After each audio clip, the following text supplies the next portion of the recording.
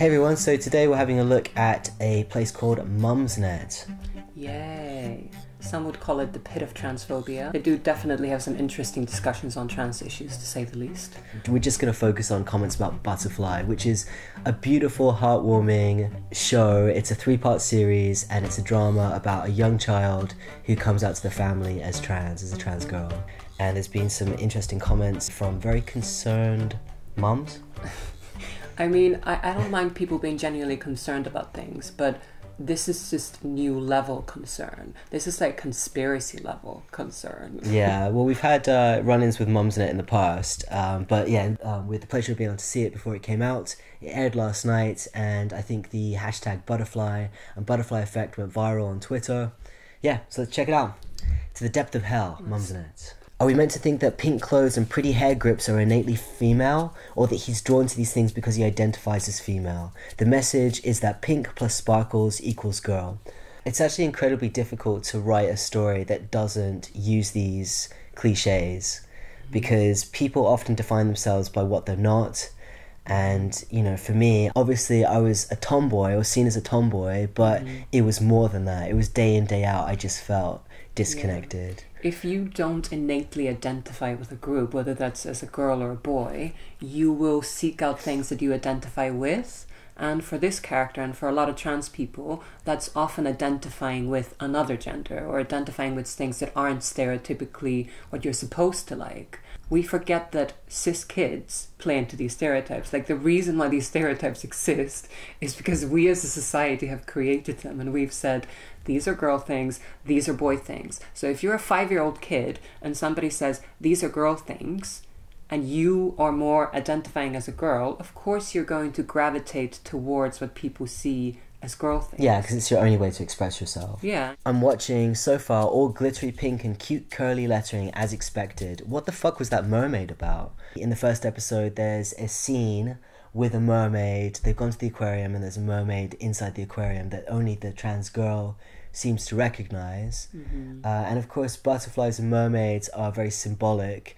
Um, a lot of trans children really connect with the idea of the transformation that a butterfly can have, and also the mystery of the mermaid. Yeah. What was the what's the mermaid appeal? It's because mermaids don't uh, aren't necessarily seen as having genitals, and they're not seen as having body parts, which a lot of trans people feel distressed about. Mm-hmm. So for trans feminine people and trans girl in particular, being a mermaid is escaping this constant gendering and sexing of your body. He won't go to the boys' toilets. He'd rather wet himself. I don't buy it. Well, I hate to tell you that this is a reality for a lot of trans people. And if you actually knew any trans people, I'm pretty sure you would know that a lot of trans people and trans kids have been in the situation of being afraid and feeling so incredibly distressed and uncomfortable about going to certain bathrooms. And maybe having an accident because they can't make it to the bathroom in time. I mean, I've heard stories of that too, where people just feel so distressed that they end up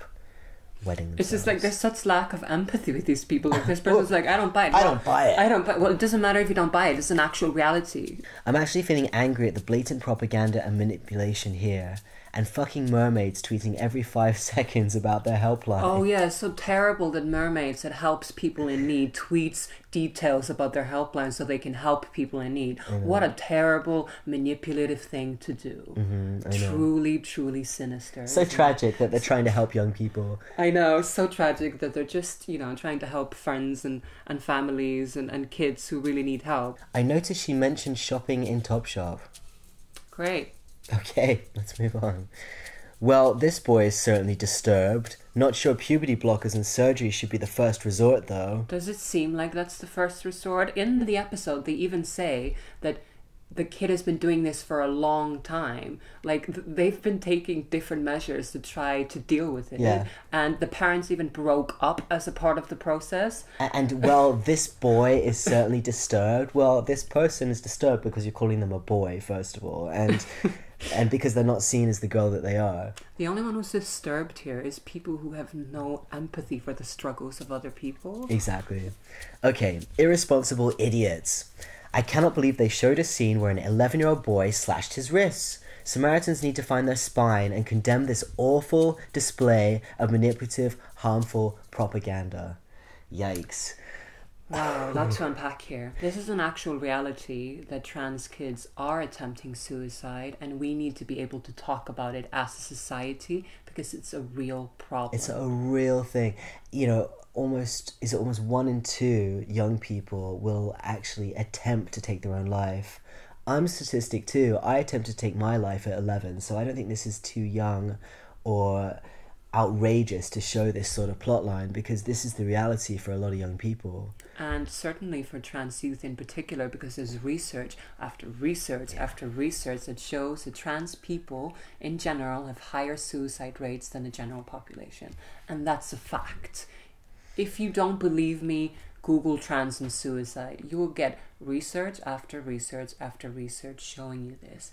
So, this is a reality that many people have experienced themselves and a reality that we're seeing right now. I'm kicking myself that I didn't do a bingo card. Mind you, I'd have a full house in the first 30 minutes. That's what I think whenever I see an episode or something about trans people because it's usually made by people who aren't trans. Exactly. And they actually play into all these stereotypes. Whereas this show is a lot better in many aspects. Of course, it plays with the stereotypes because we as a society need certain things to be able to, to correct, to connect the dots. To connect the dots with people Yeah. exactly. The the trans narrative for young people is actually very very similar. You know you you have issues you come out to your parents your parents don't understand trans issues. They learn about that. They have their own you know cr- uh, crisis or transition that they go through themselves. And a young person hopefully gets supported before or around the time they hit puberty the wrong puberty isn't this going against all sensible advice on not publishing suicidal ideation Has this person ever watched TV? I mean, there's so many different shows on TV about suicide, about murder, about all of these things. Have these people ever complained that there's a crime show on TV? Probably not. No. That escalated quickly. He finds his uniform itchy. Could be a sign of autism. I just love that these people are diagnosing a fictional character in a uh-huh. drama on ITV. What's going on here? Like, honestly, if anybody's playing by stereotypes, it's these people. it's very odd. I really thought that they would try and come up with some sort of proper reasoning. So far, to me, it is screaming out that this kid needs some serious help, not that he is innately trans. It's a fictional. It's written as trans. Like the character is trans, whether these people want to believe it or not. yeah, That's what the show's about. I cannot believe that a GP would suggest gender dysphoria and blockers on a first appointment without having even seen the child. Um, they have seen the child. One. Does this person watch the episode? First of all, this episode can never truly give you the whole process that people goes through. They only have like an hour 30 minutes for each episode. So of course they're going to have to pack a lot of information and they can't show you the entire process and the years and years that have led up to this point. And they can't show you all the nuances and all conversations But that the parents are going to have. It's not a documentary. They do try and suggest that though that this has been going on for a very very long time, and this is why uh, the parents split up because it's a tough situation to deal with. It's actually something which so it's not just getting blockers on the first appointment. It just doesn't even happen like that. It's getting almost unwatchable. I could have been watching The Cry if I didn't already know the ending. Well, sorry to disappoint you and to not have something decent for you to watch that evening that's going to support your bizarre agenda. you don't have to watch it If you did watch it or continue watching it, you might understand what young trans people are going through and what families with young trans people have to deal with.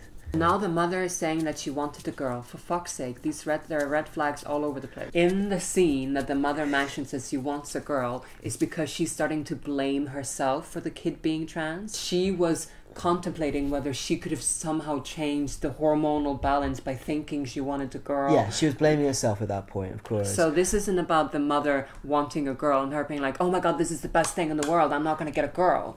Like anybody who watches that episode can see that that's clearly not what's happening here. they show the father being sensible about blockers and abusive at the same time. That's really sad. I'm sorry, but sensible and abusive does not go together. So he's just being abusive. He's just abusive, and he's that character in the film that is struggling to deal with things. That's what he represents as that character, and hopefully, we're going to see his character change over time where he comes to, to grips with what actually is going on and the fact that he does have a trans child. If anybody finds his behavior reasonable on this episode, they have literally zero empathy for kids.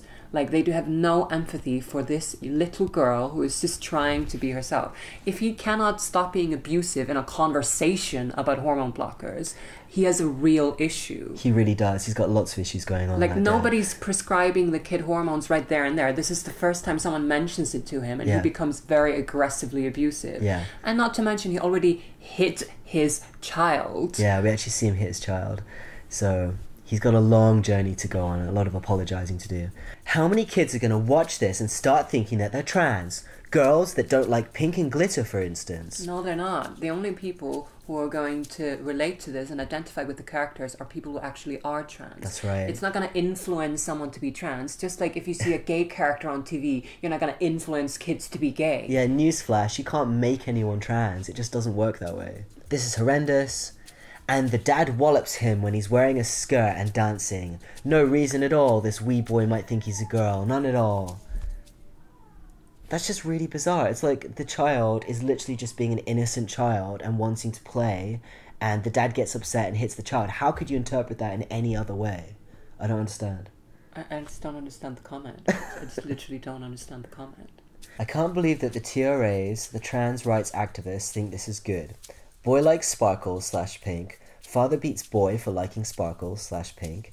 Mother wanted a girl, not another boy. Parents go through a divorce. Self harming, isolated 11 year old. Boy hates his penis. That's a beautiful poem. Is it a poem or just a poorly structured sentence? Hmm. Why the fuck would anyone's immediate thought be that the boy is actually a girl? Why the fuck would a GP suggest puberty blockers? I'd Why wouldn't you think that? I'd be on the phone to social services and getting that poor kid some counseling. Well, I'm pretty sure that counseling would lead you to the thought that this kid might be trans. Shock. Wow, such a shocker, really.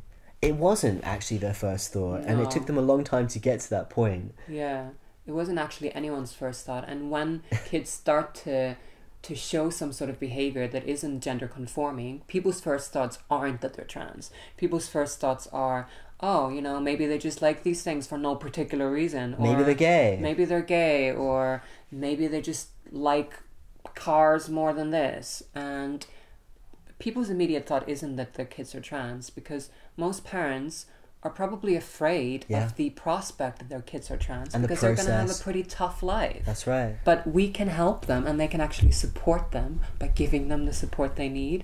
And that's why the GP is perhaps suggesting and asking the question whether this could potentially be what's happening. Discussing this idea isn't going to do anything. It isn't going to make anyone trans. They're not going to magically ship someone off to get hormones and surgery at the age of six. You know, it, it It doesn't just happen. doesn't happen. And now we have a child watching Jazz Jennings and realizing his true self. I don't quite understand. But it is a reality for a lot of trans people because we don't see ourselves depicted in film or in popular media. Ever. That we go to YouTube, we go to Tumblr, we go to Instagram. And we find our people. and we find people like us. It's literally how people find a community. And that's how you recognize who you are by looking at other people who are similar to you, who are further down the path than you. And that's what LGBT people do in general, and a lot of Yeah. people who belong to different minorities. And it doesn't mean that someone's somehow being recruited by watching a YouTube video. You find your community because that's what you need in order to survive. I just feel amazed that I have to say this, but you cannot influence someone to be something they are not. I thought we already went through this with gay people about 20 years ago, but it seems that we're still there. Yeah. And all he wants to do is dance. All, I sometimes want to do is dance. That's right, it's okay to dance. Didn't Jazz think they were gay in a past life? Didn't Jazz get emotional at not being accepted as gay during past life regression hypnosis? Oh my god, I just love these conspiracy theories that they say. They just take words that somebody has said in some video, take it completely out of context, and then use it to justify their own bigotry. Obviously, gender and sexuality are different things. And we, we find something, we try it on, see if it works. If it doesn't work, we move on. Didn't Jess think they were gay in a past life? So what? if people believe in past lives and people believe that you were different people in past lives, surely we were very different people than to what we are right now. So just because Jazz was gay in a past life, Oh, does that mean she's not trans today? Like, I don't understand the reasoning here. Yeah, I don't, I don't get the logic. Sony says only black actor so far is a bully. Now, this is one minor complaint about Butterfly, which is it it's centered around a white family. And I think that in this day and age, we could have seen a variation of some sort within the family. Maybe a Yeah. mixed race family would be cool. Yeah, and there is another black character who's actually the mum's friend, but I definitely agree that diversity is a problem in films in general, Yeah. and there definitely could be more diversity in this one, but there already is a lot more diversity in this one than in a lot of mainstream films. Yeah, this is true. Very true. All the schoolgirls wearing skirts, from what I've seen, more stereotyping. Yeah. Um, I hate to tell you, but in the most part of the UK, there are school uniforms and girls are made to wear skirts. Yeah, This what- is something that we as a society enforce, not this episode. Uh-huh. I don't know if you're aware of how the school system works in the UK. I agree that it's absolutely ridiculous because in Iceland we don't have this. Uh, yeah.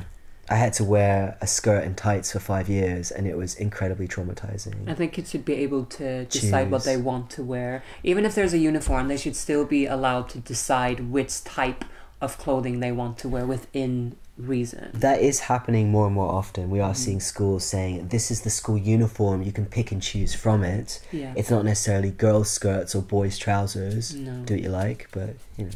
And sympathy vote shocker for the end with no challenge from the mom. I'm really sorry that this is the first time that you've been forced to empath like to empathize with trans people uh-huh. and that this seems to be new territory for you but regular people empathize with other people especially when people are struggling to be themselves right. so just because this is the first time for you where you've kind of been forced to watch something trans it's okay so Max doesn't think he's gay. Wonder if he'll be attracted to men or women when he's older. I thought almost all trans girls with diagnosis children turn out to be attracted to men. Why are you thinking about what or who they're going to be attracted to in the future? This is ridiculous. And what is this opinion based on that majority of trans girls are attracted to men? yeah, where does that come from? That's that's really There Pe- people can be all sorts of sexualities. They can be straight, bi, pan, Pan, asexual, asexual. Like there's so many different things that people can be, and actually, trans people, I would say, from my own personal experience, which is because there isn't any research about No. this, there isn't any numbers, there's no survey where trans people are called and say, "Hi, are you gay or straight?" From my experience, trans people in general are a lot more queer in many ways and they're a lot more LGBT and they're a lot more fluid in their sexuality and Exactly. their sexual orientation. exactly. They're much more open about things, which is So this annoying stereotypes that trans people are always just straight or they're always just attracted to a certain gender is just another stereotype that people who are complaining about stereotypes are enforcing. what's wrong with being a gay boy? Jess, do kids really think it's a big deal when in reality most trans kids are gay? Why are you generalizing that most trans kids are gay? Most trans kids are just trans kids. Yeah. Most kids are just trans. You can be both trans and gay. I don't know if you knew that, but that's an actual reality because being trans is about who you are and being gay is about your sexual orientation. I want to know where all the trans kids were when I was at school. Why now and why so many? I started secondary in 1996 and there were 1,200 kids at that school. I have a theory, and that is instead of being trans, all the kids with problems, be it family breakdown, autism, confusion about sexuality, whatever, were anorexic, self harming, smoking, drinking. It just looks like a new way of lashing out and taking control to me. If we want to talk about generalizing, this is perhaps one of the biggest generalizing I've ever heard about trans kids. And this I- isn't a way of lashing out, this is a way of expressing yourself. I don't understand their reasoning. It just seems very bizarre. Who cares that you started secondary in 96 and there were 1,200 kids at your school? Statistically, actually, There are probably a lot of trans kids in your school, but they probably didn't want to talk to you because you kind of sound like a dick. we equate the rise in trans people to being left handed, for example, which is what I am. And there, statistically, there's a spike in left handedness in recent years, but it's actually because in other generations, you weren't allowed to be left handed. You had your, your hand beaten, you're forced to write with your right hand because it was the devil's hand. I mean, I think it's the rise of sodomy, obviously. Yeah, yeah I mean, there's is. no other reasonable explanation as to why people would be left handed other than sodomy. I wanted to be a boy, late 70s, early 80s, due to thinking boys got to do better things, and also probably an abusive family life. I just grew out of it because trans wasn't an option. Okay, I hate- newsflash. I hate to tell you, but you're not trans. Yeah, you're not trans. If it's not in day in, day out, and it's not really, really affecting your life, then you're not trans. You can't just grow out of being trans. Just you can't grow out of being gay or you can grow out of being straight. Like that's not how it works. Exactly. And sadly, we don't live in an equal society, and this is what they're they're talking about. They're saying boys got to do better things according to them. So I guess boys got more freedom, and and so on. I feel like we've had a lot of news flashes. Yeah, that's right. It's all the same rubbish. I comments. wanted to be a boy too. My brother got bigger proportions foods, first dips at seconds of cake, and much better birthday presents than I got. Three pairs of itchy bobbly nylon pants isn't suit- isn't a suitable birthday present for a girl of seven. Just saying. Well, that's because we live in an unequal society and boys generally get more opportunities and are given things. But this is kind of sounds like your parents were favoring your brother over you, which is I'm really sorry. really sad. Yeah, I'm sorry that happened to you, and nobody should have to get three pairs of itchy pants for a birthday present. You But know? what does that have to do with trans people? yeah. When I was in secondary school, starting in the 80s, we had male goths who got to wear makeup and a few girls who wore Doc Martens and men's clothes and cut their hair short. None of them grew up to be trans. There was never any suggestion that they were trapped in the wrong body. Cool. Great. Great for Probably you. because they weren't trans and they didn't actually experience themselves as being trans. Yeah, I guess they weren't trans. I don't know if these people realize or understand, but nobody has ever said that putting on a dress makes you a woman or that putting on, you know, or cutting your hair makes you into a boy. Yeah. It's a lot deeper than that. And Yeah. anybody who seems to be under this impression has either been misled, haven't done any proper research, and have probably never met a trans person. It's about gender identity, who you are, versus gender expression. I feel like I'm constantly saying this, but It's gender basic. expression is how you choose to express yourself outwardly with clothes, hair, makeup, whatever. Whatever. Whereas opposed to your gender and who you feel inside is how you actually identify and who you actually are. So, So, if a girl example? puts on trousers and cuts her hair, it doesn't automatically make her into a boy. What makes someone into a boy is that they experience themselves as a boy and it's an intrinsic part of who they are. So there seems to be a lot of upset about inequality in this thread. I mean, inequality is a real issue in society, but to somehow make trans people responsible for it or make trans people scapegoats of gender equality isn't a reasonable argument against trans people. Of course, trans people are just as susceptible to gender stereotypes as anyone else. Of course. What an absolute pile of wank. Do the trans rights activists really think that this will turn out in their favour? So many indicators to point to other issues that are plain as day to see. Or is it just me? Numpty nuts? It's just you. it, it genuinely is just you and maybe about 20 other people on Mumsnet. Do they think it's going to turn out in their favour? Uh, We actually do. Actually, as trans activists, we do think that things are going to turn out in our favour This is- because we are on the right side of history. Because all we want to do is get on with our lives. We're not trying to hurt anyone. We literally just want to express ourselves and be who we are. This is literally the same thing as when gay people started being depicted authentically on television and in drama. It really had a positive effect on people's public opinion Yeah. because we what we digest we digest people from things from the media. We digest content from TV Yeah. and it shapes and changes our opinions. So, yes, I genuinely do think it's going to have a positive effect. And if you look online, if you look on Twitter, the majority of responses to this are actually really really positive Yeah. there's only a handful of journalists who are going on about how we're making suicide seem more you know more than it is, Exaggerated. exaggerated than it is but personally i almost hold these people personally accountable Uh-huh. for the struggles that trans people are going through because, Because they, they, are make other people's daily lives worse by, by printing fear mongering rubbish.